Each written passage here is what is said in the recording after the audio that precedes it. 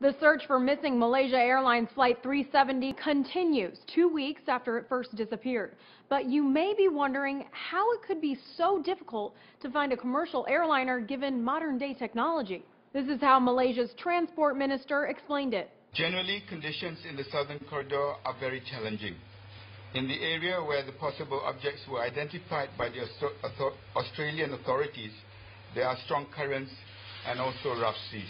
But it's not just the currents working against searchers. The search area itself presents even more challenges.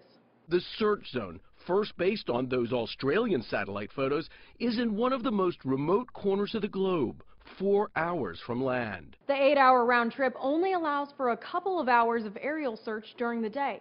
CBS reports crews are also battling Mother Nature. The weather has not been kind. Winter is approaching, making the South Indian Ocean rough the skies cloudy. On top of nature's obstacles, the technology searchers hope to use to find the plane has an expiration date.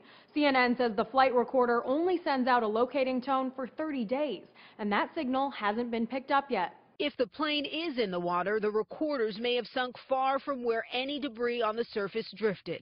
The water in the southern Indian Ocean can be 13,000 feet deep. Search crews have already covered nearly 3 million square miles of water. To put that into perspective, that's almost the size of the continental United States.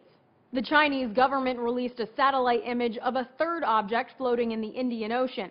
ABC reports the object is about 75 miles southwest of where two other objects were spotted. For Newsy, I'm Meg McLeod.